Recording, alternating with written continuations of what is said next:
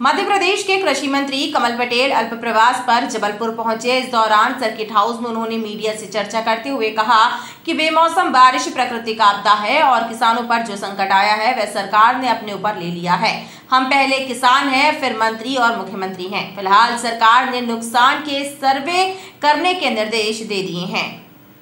अल्प प्रवास पर जबलपुर पहुँचे कृषि मंत्री कमल पटेल ने कहा कि यदि बेमौसम बारिश से एक हल्के में 10 किसानों की भी फ़सलें खराब हुई हैं तो सरकार उन्हें मुआवजा देगी। वहीं फ़िलहाल नुकसान के सर्वे के निर्देश दे दिए गए हैं। उन्होंने कहा कि किसानों की समस्या सरकार की समस्या है।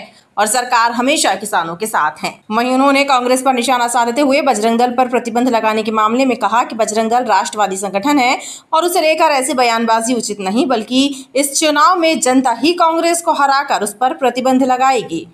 देखिए, अब ये प्राकृतिक आपदा है। इसके ऊपर किसी का बस नहीं है और इसलिए इस प्राकृतिक आपदा के संकट किसानों पे जो आया है, वो सरकार ने अपने ऊपर लिया है। भारतीय जनता पार्टी की सरकार गाँव गरीब और किसानों की सरकार है। माननीय मुख्यमंत्री जी, एक संवेदनशील मुख्यमंत्री है, किसानों के लिए रात दिन काम करते हैं।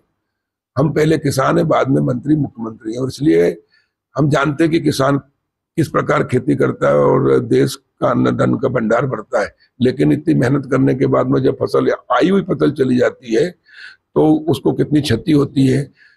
वो क्षति किसान की नहीं होगी, सरकार अपने ऊपर ले रही है और इसलिए हमने निर्देश दे दिए सर्वे करने के, माननीय मुख्यमंत्री जी ने भी और मैंने भी, सभी कलेक्टरों को, सभी डीडीए को सर्वे करके जहाँ क्षति हुई है, उसकी आरबीसी छह चार के तहत, प्रावधान के तहत उनकी पूर्ति की जाएगी। बजरंग दल जैसा राष्ट्रवादी संगठन उस पर प्रतिबंध लगाने की बात करती है तो अब जनता कांग्रेस पर प्रतिबंध लगाएगी, अब कांग्रेस कभी सत्ता में नहीं आएगी, क्योंकि इस देश का राष्ट्रभक्त समाज जागृत हो चुका है और वो कांग्रेस को पहचान चुका है कि कांग्रेस ने देश का और इस राष्ट्रभक्त समाज का कितना नुकसान किया है। और इसलिए अब इनका सफाया होना